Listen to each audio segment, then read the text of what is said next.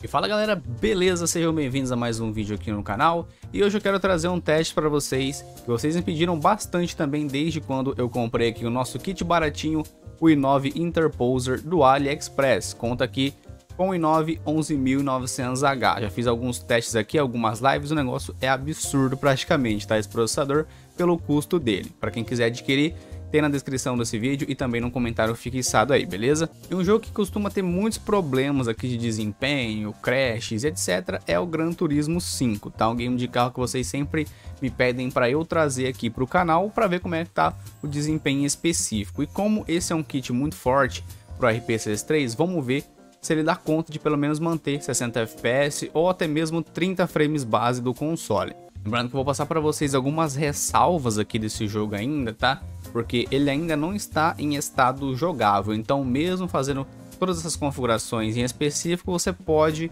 ter muitos crashes ainda, que eu vou explicar para vocês aqui pela Wiki. Bom, a gente está com a página da Wiki aberta aqui do jogo. Para você entrar na, na Wiki dos jogos, né, eu já até ensinei para vocês, vocês vão clicar com o botão direito e vir aqui em Check Game Compatibility. Aí vai abrir a página de compatibilidade do próprio emulador. E aqui pela Wiki ele mostra algumas das configurações que eu vou mostrar para vocês dentro do próprio emulador também, né? E tem algumas ressalvas que ele fala aqui pra gente, tá? Bom, desincronizações e congelamentos no jogo. E aqui ele diz, esse jogo não é atualmente jogável, tá? Ele está em estado in-game ainda, você pode até zerar, você pode até jogar, só que com problemas de desempenho, problemas de crash, né? Até mesmo com as configurações recomendadas acima, você pode experienciar, pode esperar aí, né, crashes e desincronizações, tá? Então isso aqui é um adendo que eles já falam. Pelo visto tem alguns bugs também quando você vai comprar um carro, né, que você tem que é, trocar o decodificador de SPU para ASMJ, né? Então tem isso também, vou mostrar para vocês certinho, certo? Aqui a gente tem Special Notes, tá? Que eu achei isso aqui bem importante também. A versão do jogo mais estável ela é a 1.13. Se você não sabe atualizar os games aqui no, no RPCS3, eu tenho vídeo ensinando, tá? Vou colocar para vocês um cardzinho se eu lembrar. Se eu esquecer, por acaso tem vídeo no canal. É só você ver o tutorial completo aqui do RPCS3 que explica tintim por tintim. Se você não conhece nada do emulador, nesse vídeo vai sanar todas as suas dúvidas basicamente. Só que ainda eles colocam um adendo, né? Atualmente a mais estável, mas mesmo assim crashes podem não ser completamente consertados, tá? Então isso é um problema, né? E também temos aqui, ó, o Gran Turismo 5 usa um nível de anti-aliens, né, que é o MSA, que pode ter altas cargas na GPU. Como eu falo para vocês, normalmente o RPCS 3 não utiliza muito da placa de vídeo, mas certos jogos têm essa questão do MSA que faz, né, dar um GPU load mesmo em resoluções mais baixas, tá? Então o que, que eles falam para fazer? Você pode desabilitar o anti-aliasing tá? Isso reduz o uso da GPU bastante, só que você pode ter bugs de renderização na folhagem em outros lugares. E aqui ele tem um workaround, né, que você pode fazer, que você pode estar tá setando a resolução em 1080p, que ele usa um nível, usa um método diferente de anti-eles e assim não utiliza muito da GPU também. Tá, é só para explicar um pouquinho por cima para vocês. Agora a gente vai para as configurações em específico. Vamos lá. Bom, clicando aqui com o botão direito, Change Custom Configuration, vocês vão deixar basicamente a CPU dessa forma que está aqui, certo? E eu ativei a instrução AVX512, essa plataforma tem esse recurso, então por que não usar, né? Isso aqui já dá uma estabilidade maior e aumenta mais a questão do frame rate aqui em GPU, né? A gente está setado em Vulkan praticamente. Eu segui a orientação de deixar o jogo em Full HD para não ter altas cargas de GPU e acontecer algum crash ou outro, né? Eu destravei o frame rate limit só para termos de entretenimento aqui. Provavelmente o jogo vai ficar um pouco acelerado, mas vamos ver se é possível até mesmo passar de 60 FPS com esse kit aqui, tá? Coloquei um FSR também, V5 que eu liguei. Eu acho que não precisa ligar o Right Color Buffer, tá? Uh, a gente vai ver isso também. Aqui em Advanced, liguei Accurate RSX Reservation, tem um pouquinho mais de estabilidade, segundo a Wiki também. Aqui em Atomic, né, eu deixei RSX FIFO em Atomic, que também dá muita estabilidade aqui pra gente diminuir os crashes, né? E Driver Cup Delay também, na questão de crash, eu deixei setado aqui em 150. Vamos ver como é que fica aqui, tá? Aqui em Emulator, uh, não mexi mais em nada praticamente. Se você quiser habilitar o FPS do próprio emulador, só marcar essa caixinha Enable Performance Overlay. E tem a aba de debug também, tá?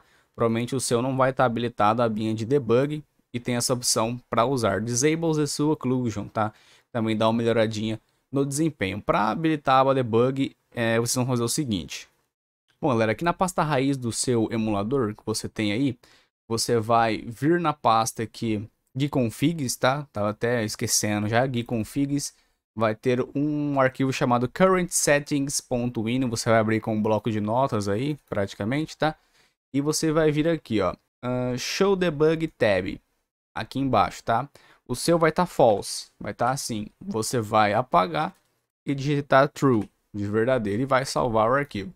Assim você fecha o emulador e abre de novo que a opção aba debug vai estar tá lá. E clicando aqui em Manager Gamepads, eu ativei um Lock FPS porque quando passa de 60 frames fica acelerado. Mas mesmo assim eu acho que isso não resolveu, o jogo fica um pouco acelerado, mas queria mostrar o quanto que é possível chegar de desempenho com esse kit aqui no Gran Turismo 5, tá? Então a gente está com ele aberto aqui, vamos fazer umas play para ver se fica bom, vamos lá. Bom, vamos selecionar esse primeiro circuito aqui, rapaziada.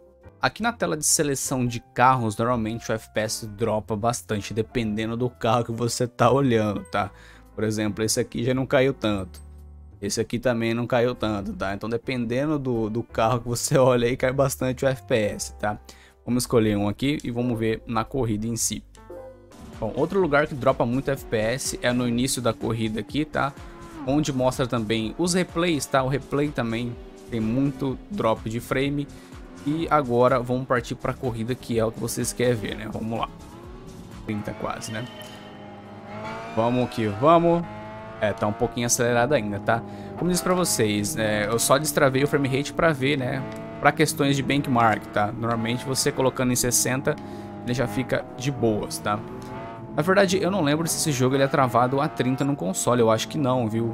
Eu acho que eu devo ter falado errado para vocês, tá? Eu acho que esse jogo aqui ele é variável também, não é a 30 não. Depois eu vou dar uma olhadinha, qualquer coisa eu deixo no comentário. Mas ó, Gran Turismozão pegando mais de 60 frames, a não ser que você chega perto dos carros, né? Quando tem muito carro na sua frente, tá? Quando tem muito carro na sua frente, ele dá um dropzinho de FPS, tá? Ó, tá vendo? Ó, vamos pegar aqueles ali, ó. Vou pegar aqueles ali, vem cá, pode passar à vontade aí, meu querido. Fazendo uns testezão mesmo, tá vendo? Quando você coloca ali para olhar para os carros, né? Quando tem muito carro na sua frente, o FPS começa a dropar bastante, tá? Mesmo com um kit desse daqui ainda, beleza? Mas é aquela coisa, dica do dia. Dica do dia, fique sempre em primeiro lugar. Olha só. isso aqui é para você ficar sempre no primeiro lugar, hein?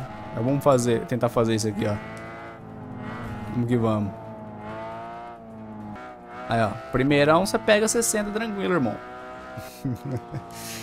Primeirão você pega 60 aí, tranquilinho, tranquilinho, tá? Vamos testar outra fase aqui, uma fase à noite. Testar uma fase à noite pra gente ver como é que fica, vamos lá. Bom, pessoal, essa aqui é uma fase à noite que eu coloquei pra vocês aqui, a fase noturna. E vocês podem perceber que não tá mais saindo o áudio do jogo, né? E isso acontece também, desincronização de áudio, tá? Então, o jogo simplesmente mutou. Vamos ver se quando a gente iniciar a corrida ele vai voltar, mas acredito que não. Ó, iniciamos aqui, o áudio não voltou, tá? A única coisa que você tem a fazer é reiniciar, tá? É reiniciar a emulação dele. Fazer o reinicio aí. Mas assim, né? É complicado porque o Gran Turismo 5 até que ele roda bem na maioria das partes, né? Ele até não cai de 30 nas corridas. Né? Até não cai de 30 nas corridas, mas tem hora, né? Tem hora que a coisa é feia. Quando tem muito carro assim, ele fica na, na casa dos 30 mesmo, 40, como vocês podem ver aqui. Mas os problemas que ele tem é questão de bug, questão de desincronização, como é dito lá. Pode ser que alterando o decodificador de, na aba de CPU, né? Na aba de CPU de recompiler para a SMJ, pode ser que conserte. Só que a SMJ uh, ah, você tem um desempenho menor, tá? Esse recompilador aí. Mas pode ser que conserte alguns desses problemas momentaneamente, tá? Mas praticamente é isso, não tem muito o que falar aqui do Gran Turismo 5, tá? Como vocês me pediram o teste, então trouxe aqui para vocês.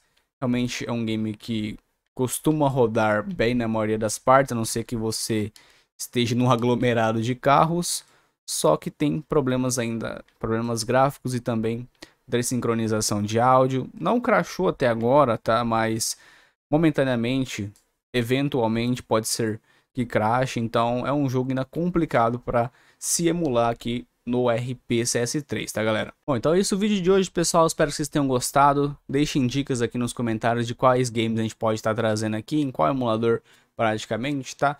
Ó, quem gostou do vídeo, aquele likezão firmeza para ajudar, é de graça, ajuda bastante, tá? Se inscreve no canal se você não é inscrito ainda, ativa o sininho de notificações para não perder nenhuma novidade a respeito dos emuladores e jogos em geral. Gostaria também de agradecer aos membros do canal que contribuem financeiramente para eu continuar a trazer esse tipo de conteúdo. Agradeço de coração aos membros. Para você que também quiser se tornar um apoiador do canal, só clicar no botãozinho seja membro ou pelos links na descrição desse vídeo. Fico por aqui com vocês, um grande abraço a todos, valeu, falou e até o próximo vídeo. Fui, tamo junto!